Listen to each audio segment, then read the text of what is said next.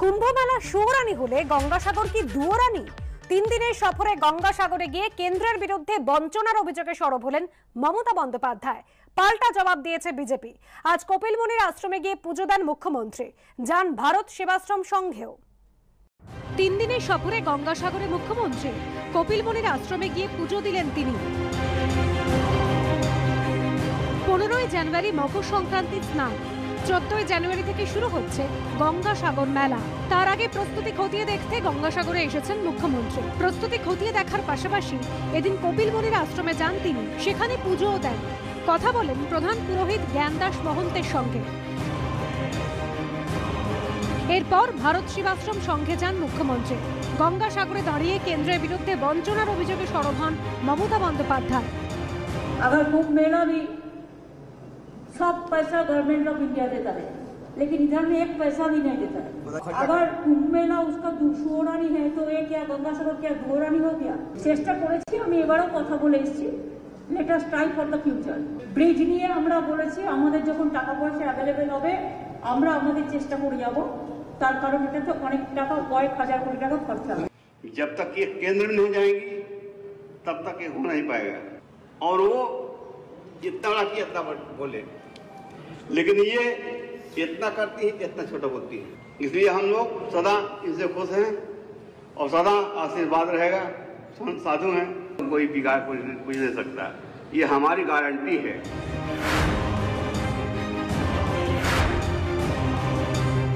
মুখ্যমন্ত্রী নিজেকে প্রধানমন্ত্রী দেখার জন্য উদ্গ্রীব এবং সেই কারণে তিনি দাঁড়ে দাঁড়ে ঘুরে বেড়াচ্ছেন কারা কারা তাকে প্রধানমন্ত্রী দেখতে চায় কপিল মুনির আশ্রমের মহান্ত তো এর আগেও তাকে আরও অনেক বড় দেখতে চেয়েছেন একাধিকবার। আবার আজকে প্রধানমন্ত্রী দেখতে চেয়েছেন খারাপ মুখ্যমন্ত্রীর কথায় উনি সহমত হলে যদি আশ্রমের কিছু সুবিধে টুবিধে হয় সেটা উনি চেষ্টা করতে পারেন।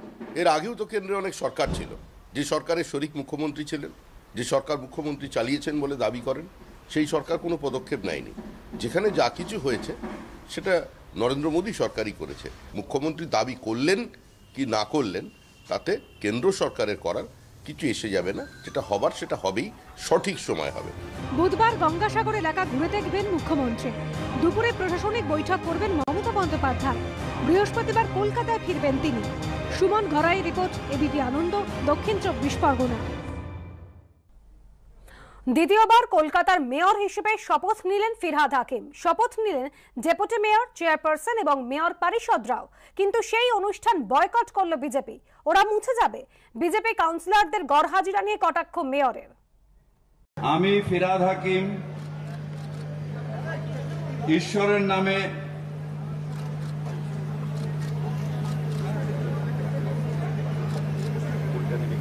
ঘোষণা করছি যে দ্বিতীয়বার কলকাতার মেয়র হিসেবে শপথ নিলেন ফিরাদ হাকিম। তার সঙ্গে ডেপুটি মেয়র পদে শপথ নিলেন অতীন ঘোষ। চেয়ারপারসন পদে শপথ নিলেন মালা রায়। মেয়র পরিষদ হিসেবে শপথ নিলেন বারো জন। শপথ গ্রহণ অনুষ্ঠানে সিপিএম এর দুজন, কংগ্রেসের একজন এবং নির্দল কাউন্সিলররা উপস্থিত থাকলেও এই অনুষ্ঠান বয়কট করে বিজেপি। শপথ গ্রহণ অনুষ্ঠানে উপস্থিত ছিলেন সিপিএম এর দুই জয়ী কাউন্সিলর। কংগ্রেসের তরফ থেকে ছিলেন জয়ী কাউন্সিলর ওয়াসিম আনসারি। পরে মেয়রের সঙ্গে দেখা করতে যান আরেক কংগ্রেস কাউন্সিলর সন্তোষ পাঠক। এসেছিলেন নির্দল কাউন্সিলররাও কিন্তু হাজির ছিলেন না বিজেপির তিন কাউন্সিলরদের মধ্যে একজনও।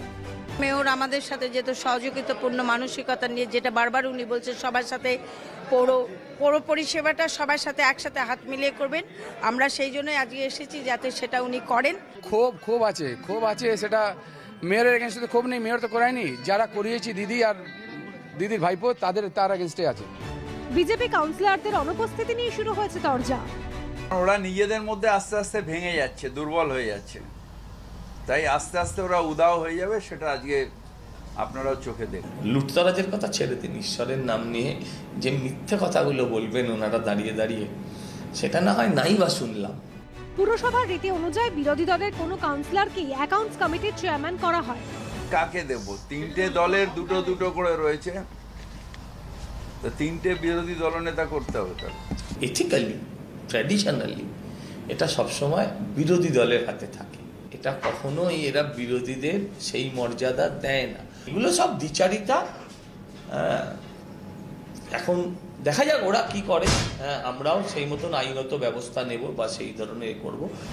গতবার বিজেপি ছেড়ে তৃণমূলে যোগদানকারী বাপি ঘোষকে অ্যাকাউন্টস কমিটির চেয়ারম্যান করা হয়েছিল। সেক্ষেত্রে বাপিকে বিজেপির কাউন্সিলর হিসেবেই দেখানো হয়। তৃণমূল কাউন্সিলর বাপ্পাদিত্য দাশগুপ্তকে চিফ হুইপ করা হয়েছে। অর্ণ মুখোপাধ্যায় ও রুমা পাল এবিপি আনন্দ কলকাতা। ভোট লুঠের রাজনীতি এই বাংলায় চলবে না। যা ভুল হয়েছে তা শুধরে নিয়েছে।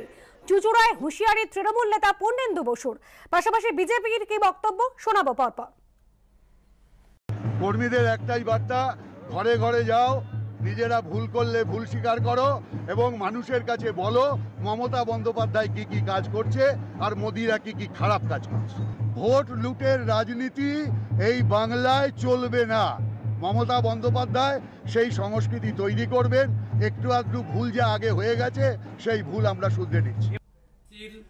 উপরতলার নেতা থেকে নিচুতলার নেতারা পর্যন্ত যে ভুল করেছেন, তাই তারা আজকে স্বীকার করছেন। এবং তার জন্য আজকে চুচুড়ায় পূর্ণেন্দুবাবু এসে ভুল স্বীকার করার জন্য তিনি সকলকে বলছেন। অর্থাৎ এরা দস্যু রত্নাকর থেকে বাল্মীকি হতে চাইছেন, কিন্তু তৃণমূল কখনোই দস্যু রত্নাকর থেকে বাল্মীকি হতে পারবেন না। উত্তর চব্বিশ পরগনার শাসনে ভেড়ি থেকে আয়ের টাকা বন্টন নিয়ে শুরু হয়েছে চাপানুতন গ্রামবাসীদের দাবি, আগে ঠিকমতো টাকা পাওয়া গেলেও এখন তা পাচ্ছেন না। এই ইস্যুতে একযোগে শাসক দলকে কটাক্ষ করেছে বাম ও বিজেপি। যদিও তা মানতে নারাজ তৃণমূল। ভেড়ি থেকে আয়ের টাকা বন্টনে দলবাজির অভিযোগ। তৃণমূলের দিকে আঙুল তুললেন গ্রামবাসীরা। একই সুর বাম ও বিজেপির গলাতেও ভিত্তিহীন অভিযোগ পাল্টা দাবি শাসক দলের। এই নিয়ে সরগরম উত্তর চব্বিশ পরগনার শাসন। ধান আর মাছ চাষ, এই দুটি এখানকার বাসিন্দাদের প্রধান জীবিকা। দাদপুর কীর্তিপুর এক ও দুই, শাসন এবং সলতি বেলিয়াঘাটা। এই পাঁচটি পঞ্চায়েতের বিস্তীর্ণ এলাকায় রয়েছে ভেড়ি। প্রায় তিরিশ হাজার বিঘার বেশি এলাকা জুড়ে চলে ধান ও মাছ চাষ। এখান থেকে যে টাকা উপার্জন হয়, তার ভাগ বাঁটোয়ারা নিয়ে তৈরি হয়েছে বিতর্ক। আগে সিপিএম আমলে টাকা সবাই পেত, গরিব মানুষরাই পেত। এখন টিএমসি এসে সে সাধারণ মানুষকে দিচ্ছে, কিছু মানুষকে বাদ দিচ্ছে। গ্রামবাসীদের এই ক্ষোভকে হাতিয়ার করে আসরে নেমেছে বিরোধীরা। তৃণমূল দু হাজার এগারো সালের পরে সেই জমি একেবারে সেখানে গিয়ে বসে গেল। তাদের কোনো লড়াই আন্দোলন করতে হলো না। যে গরিব মানুষগুলো সেখানে দখলে ছিল সেই জমি ভেড়ি নিলাম দিচ্ছে কিন্তু সেই টাকা নেতারাই লুট করে নিচ্ছে। সেই সাধারণ গরিব মানুষের মধ্যে বিলি বন্টন হচ্ছে না। তৃণমূল সরকার আসার পরে তাদের কর্মীরা বা তাদের যারা সেখানে নেতারা আছেন তারা এখন সম্পূর্ণভাবে সেটা গ্রাস করেছেন। সমস্ত অর্জিত অর্থ অর্থাৎ এই ধান চাষ মাছ চাষ করে যে টাকা আসছে সরকারি জমি থেকে তার সবটাই তারা পকটস্থ করছেন সাধারণ মানুষকে বঞ্চিত করে। যদিও বিরোধীদের এই দাবিকে গুরুত্ব দিচ্ছে না তৃণমূল। গত চৌত্রিশ বছরে বামফ্রন্টের পার্টি রাজ চলছিল সেটা বন্ধ হয়ে গেছে। এই টাকাটা ওরা লুট করে খেত এখন খেতে পাচ্ছে না বলে মিথ্যে কথা অপপ্রচার করছে। ভেড়ির দখল নিয়ে সংঘর্ষের জেরে একাধিকবার উত্তপ্ত হয়েছে শাসন। সেই ট্র্যাডিশন এখনও চলছে সমানে। সমীরণ পালের রিপোর্ট এবিপি আনন্দ উত্তর চব্বিশ পরগনা। উত্তর দিনাজপুরে ইসলামপুরে বলঞ্চা দুষ্কৃতীদের হাতে খুন হলেন ব্যবসায়ী স্ত্রী। আক্রান্ত হলেন বিধায়কের ছেলেও। লুঠের উদ্দেশ্যে হামলা হয় বলে প্রাথমিক তদন্তে অনুমান পুলিশের। আটক করা হয়েছে বারো জনকে।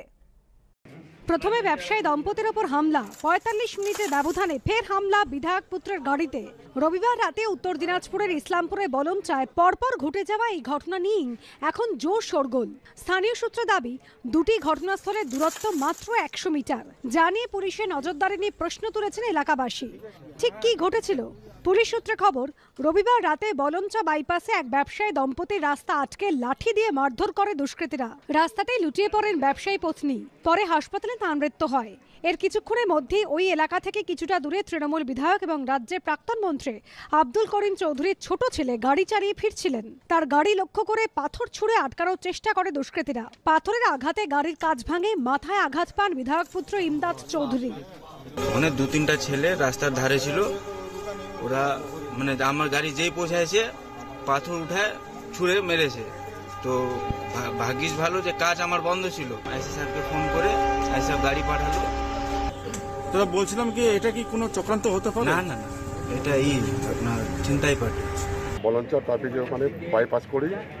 তখন ওই দোকান থেকে বাড়াইয়ে তিনটা ছেলে আমার পর আঘাত করে বাস বাস দিয়ে। আমার আমি যখন মাথাটা হালাই দিই তো ওই বাসটা যায় আমার বউর বুকে লাগে। আমার বউ পিছন থেকে পড়ে যায় মাথা ফেলে গিয়ে মারা যায় পুলিশের প্রাথমিক অনুমান ছিনতাইয়ের জন্যই জড়ো হয়েছিল দুষ্কৃতীরা। ইনফরমেশন আমরা পেয়েছিলাম কি ওখানে আমাদের যে বাইপাস যাওয়ার রোড আছে, ওখানে কিছু একটা ছেলে ছিনতাইয়ের উদ্দেশ্যে কিছু একটা ঘটনা ঘটিয়েছে, তারপরে পুলিশকে পাঠানো হয়েছিল। তো ইনভেস্টিগেশনে আপাতত আমরা যতজনের নাম পেয়েছিলাম, তার জনের ছজনকে আমরা আপাতত ডিটেইন করেছি। হ্যাঁ ফার্দার জিজ্ঞাসাবাদ চলছে। এই ঘটনার পর ওই এলাকায় নজরদারি বাড়ানো হবে বলে জানিয়েছে পুলিশ। সুদীপ চক্রবর্তীর রিপোর্ট এবিপি আনন্দ, উত্তর দিনাজপুর।